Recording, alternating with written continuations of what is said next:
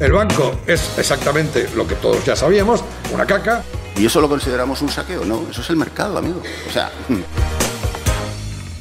Este viernes se cumple un año desde que el IBEX 35 registrara la mayor caída en un día de toda su historia. El 12 de marzo de 2020 se hundía un 14% mientras la pandemia de coronavirus no paraba de crecer y después de una comparecencia de Christine Lagarde en la que ésta no se mostró lo suficientemente contundente. ¿Cómo están las cosas un año después? considerablemente mejor. Existe la sensación de que la crisis se va dejando poco a poco atrás y además se van solucionando determinados asuntos. Se ha aprobado ese plan de estímulo de 1,9 billones de dólares en Estados Unidos y se han eliminado, aunque sea de forma temporal, los aranceles entre Estados Unidos y la Unión Europea. Sí que hay una preocupación actualmente que sobresale sobre las demás y es el aumento de la inflación, su repercusión en el alza de las rentabilidades de los bonos y cómo todo esto está acelerando el trasvase de carteras, el paso de los valores que lo hicieron muy bien el año pasado, como las tecnológicas, a títulos que lo hicieron muy mal, como los bancos. Cuidado porque ya hay quien habla del estallido de la burbuja tecnológica. Y este trasvase de carteras